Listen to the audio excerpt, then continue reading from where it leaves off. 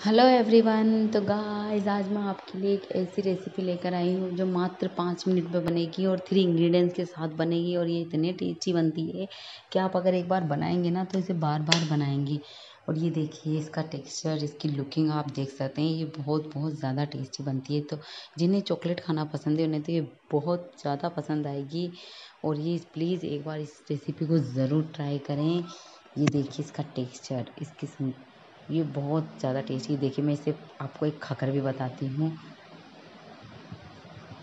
ये देखिए, अंदर चॉक अंदर चॉकलेट सिरप की फिलिंग और ऊपर white chocolate mind blowing taste है, बहुत ही ज़्यादा टेस्टी है। तो प्लीज़ एक बार इस रेसिपी को ट्राई करें, मेरे चैनल को लाइक करें शेयर करें सब्सक्राइब करें और बेल आइकन प्रेस करना ना भूलें ताकि मेरी आने वाली वीडियो की नोटिफिकेशन आप तक सबसे पहले पहुँच सके। तो चलिए फिर शुरू करते हैं। तो ये मैंने लिए हैं बची कुची यहाँ ब्रेड लिए हैं। रेसिपी बनाने के बाद हमारे पास जो कॉर्नर्स बच जाते हैं, आप कुछ उन ब्रेड को या फ्रेश ब्रेड भी यहाँ यूज़ कर सकते हैं। मैंने यहाँ बची कुची ब्रेड ली है तो मैंने जो भी फ्रेश ब्रेड मेरे पास थी वो सब ले लिया। अब हमें इसे ग्राइंडिंग जार में डालकर इसे महीन पाउडर बना लेना है। ये देखिए, मैंने इसे बिल्कुल बारीक पाउडर बना लिया है। अब हमें इसे देखना है कि हमारे पास ये कितना मेज़र मेज़र करके देखना है कि हमारे पास ये कितना ब्रेड क्रम्स बना है। ये देखिए, हम किसी भी कप या कटोरी की सहायता से इसे मेज़र करके देख लेंगे। ये वन कप और ये टू कप तो टोटली मेरे पास ये टू कप ब्रेड क्रम्स बनाया है तो इसमें से हम वन कप ब्रेड क्रम्स अलग रख लेंगे, क्योंकि आज हमें इस चॉकलेट बॉल्स को दो अलग अलग फ्लेवर में बनाएँगे, इसलिए मैंने यहाँ आधे को आधा अलग रख लिया है। अब मैंने यहाँ लिया हर्सीज़ का चॉकलेट सिरप आप चाहें तो यहाँ डार्क कंपाउंड चॉकलेट को मेल्ट कर कर भी ले सकते हैं। ये देखिए, अब हमें थोड़ा थोड़ा चॉकलेट सिरप डालकर इसे अच्छे से गूंदना है। हमें इसे आटे की तरह सॉफ्ट आटा लगाना, सॉफ्ट गूंदना है। ये देखिए, इस तरह से थोड़ा थोड़ा चॉकलेट सिरप डालकर आप इसे गूंदते जाएँ। इसे अच्छे से मिक्स करते जाएँ। ये देखिए, इस तरह से इसकी, इसे बाइंड करके देख लें कि ये बंध रहा है नहीं बंध रहा। अभी ये थोड़ा थोड़ा सा बिखर रहा है, इसलिए मैं थोड़ा सा चॉकलेट सिरप और डालूँगी। ये देखिए ये देखिए, मैंने अब इसका सॉफ्ट डो लगा कर तैयार कर लिया है। अब इसकी छोटी छोटी बॉल्स बनानी है। आप बॉल्स बड़ी या छोटी अपने इच्छा से बना सकते हैं। मैंने यहाँ छोटी छोटी बॉल्स बनाई है, चाहे तो आप एक हाथ से या फिर हथौली के बीच में रखकर इसकी बना सकते हैं। अब मैंने यहाँ फ्रिज में रख दिया है। पाँच मिनट के लिए, वहाँ से दस मिनट के लिए। अब मैंने यहाँ लिए वाइट कंपाउंड चॉकलेट लगभग सौ ग्राम। इसे हमें चक्कू की सहायता से कट करना है। अब हमें इसे मेल्ट करना है। मैं यहाँ डबल बॉयलर की सहायता से मेल्ट कर रही हूँ। तो हमें नीचे बर्तन रखना है। उसमें पानी इतना लेना है कि इसकी जो पानी है, ऊपर वाले बर्तन को छुए नहीं। बस उसकी हमें भाप चाहिए। उसकी भाप को छूना चाहिए। ये देखिए, इस तरह से आप चॉकलेट को मेल्ट कर लें। पाँच मिनट में ये चॉकलेट मेल्ट हो चुकी है हमारी। अब हम इसे रख देते हैं साइड में और हमने जो बचे हुए ब्रेड क्रम्स लिए, इसमें थोड़ी थोड़ी व्हाइट चॉकलेट डाल के हम इसे भी अच्छे से डो की तरह लगा लेंगे। सॉफ्ट ये देखिए, मैंने इसे भी लगा लिया है। अब इसकी भी छोटी छोटी बॉल्स हम बना लेंगे।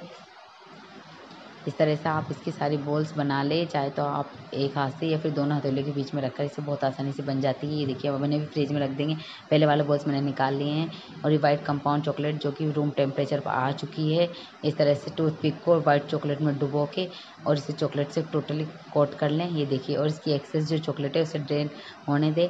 अब मैंने यहाँ चॉकलेट स्प्रिंकल लिए हैं, शुगर स्प्रिंकल, इसे हमें गार्निश करने के लिए ऊपर छिड़का है चाहे तो आप यहाँ ग्रेट की हुई चॉकलेट डाल सकते हैं या फिर कोकोनट का बुरादा या फिर नट्स, किससे भी डेकोरेट कर सकते हैं। मैंने यहाँ स्प्रिंकलर लिए हैं जो केक में यूज़ होते हैं, इस तरह से आप इसे सारे बना लिए हैं। मैंने अभी यहाँ मैंने पचास ग्राम डार्क कंपाउंड चॉकलेट लिए, इसे भी हमें कट काट कर डबल बॉयलर की सहायता से मेल्ट करना है। ये देखिए, दो मिनट में हमारी चॉकलेट मेल्ट हो चुकी है। अब इसे साइड में रख लेते हैं, ये देखिए। अब इसे रूम टेम्परेचर पर आने देना है। ये हमारी चॉकलेट रूम टेम्परेचर पर आ चुकी है। अब हम इसमें से जो बॉल्स हमने वाइट कलर के बना कर रखे थे, उन्हें फ्रिज में से निकाल कर टूथपिक लेंगे। उसे भी हम चॉकलेट में डुबो डुबो कर इसके अंदर इंसर्ट कर देंगे और इसे चॉकलेट से टोटली कोट कर देंगे। एक्स्ट्रा चॉकलेट को ड्रेनेज होने दें और इसे अब मैंने यहाँ सिल्वर बॉल से डेकोरेट किया है। आप अपनी इच्छा अनुसार किसी भी चीज़ से इसे डेकोरेट कर सकते हैं या फिर इसे प्लेन भी रख सकते हैं। कुछ को मैंने प्लेन भी रखा है और ये बहुत ज़्यादा टेस्टी लगते हैं। प्लीज़ गाइस, एक बार तो इस रेसिपी को ज़रूर ट्राई करें। इस तरह से सारे बॉल्स मैंने, चॉकलेट बॉल्स मैंने बना लिए हैं।